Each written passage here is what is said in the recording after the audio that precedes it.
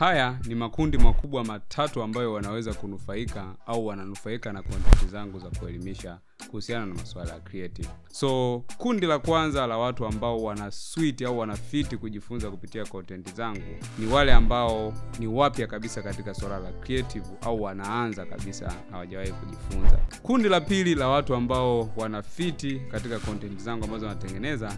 ni wale ambao wamejaribu kujifunza wao wenyewe au wametumia content za watu wengine wameangalia youtube lakini wamestaki kwa maana wameshindwa kuelewa wamekwama na wanahisi kukata tamaa.